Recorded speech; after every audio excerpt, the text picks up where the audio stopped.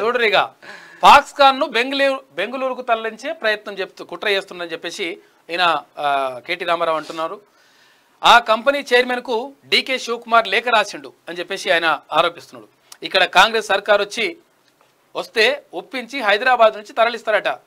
కేసీఆర్ మళ్ళీ రాకపోతే ఏం జరుగుతుందో చెప్పడానికి ఇదో ఉదాహరణ. కడుపులు కొట్టే కాంగ్రెస్ కావాలా? కడుపులు నింపే బీఆర్ఎస్ కావాలా? ఎవరు ఎవ- ఎవరి కడుపులు ఎవరు కొడుతున్నారు? ఎవరి కడుపులు ఎవరు నింపుతున్నారు అనేది ఇక్కడ చర్చ జరగాలి. అంతే కదా? రెండు వేల ఇప్పుడు నిరుద్యోగుల కడుపులు కొడుతుంది ఎవరు? బీఆర్ఎస్. పార్టీ. తర్వాత ఈ రైతులకు రుణమాఫీ చేస్తాను చేయకుంటే నాశనం చేసింది ఎవరు? బీఆర్ఎస్ ఇట్లా రకరకాలుగా దళితులకు మూడెకరాల భూమి ఇస్తాను చే నో- మోసం చేసింది ఎవరు? బీఆర్ఎస్ ఉద్యమకారులనన్నా ఇప్పుడు ఒకటి చూపిస్తాం మనం. ఇరవై ఐదు ఇరవై ఐదు జిల్లాలు కేసీఆర్ స్కూటర్ వేసుకొని మొత్తం జెండా పట్టుకొని ఊరూరా తిరిగిన ఆశీల శివాని ఉద్యమకారుడు ఉంటాడు. లాస్ట్కు కేసీఆర్ స్కూటర్ అమ్మకానికి పెట్టిండు. చూ- చూద్దాం ఇది వార్తలు అయిన తర్వాత కడుపులు కొట్టే కాంగ్రెస్ కావాలా? కడుపులు నింపే బీఆర్ఎస్ కావాలా? ప్రజల్లో కొంత అసంతృప్తి కనిపిస్తున్నది. కానీ ఇంకొకరి చేతుల్లో రాష్ట్రాన్ని పెడితే ఆగమైతది.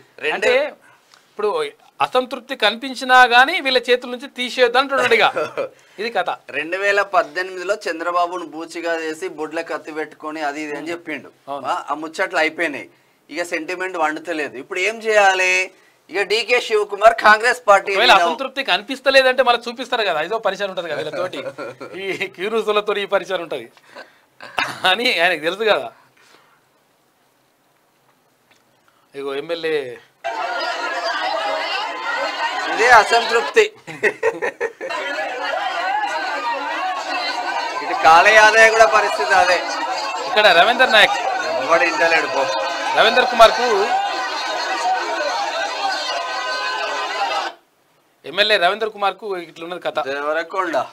ఎన్నికల ప్రచారంలో భాగంగా దేవరకొండ ఎమ్మెల్యే బీఆర్ఎస్ పార్టీ అభ్యర్థి రమావత్ రవీంద్ర కుమార్ గురువారం సాయంత్రం నేరడుగుమ్మ మండలం గుర్రపు తండాలో పర్యటించాలి. ఈ సందర్భంగా గ్రామానికి చెందిన కొంతమంది మహిళలు యువకులు ఎమ్మెల్యే రవీంద్ర కుమార్ ప్రచారాన్ని అడ్డుకున్నారు. గత ఐదేళ్ళ కాలంలో గ్రామంలో ఉన్న నీటి సమస్యను పరిష్కరించలేదని బీఆర్ఎస్ నాయకులకు తమ గ్రామంలో పర్యటించే హక్కు లేదని చెప్పేసి ఎమ్మెల్యే నిలదీసిండ్రు. ఇంకో ఇది పరిస్థితి. కాబట్టి కొంత వ్యతిరేకత ఉన్న మాట వాస్తవం వాస్తవమే అని అంటున్నాడు ఆయన. అసలు లేదంటే వాళ్ళు చూపిస్తాం కదా మనం.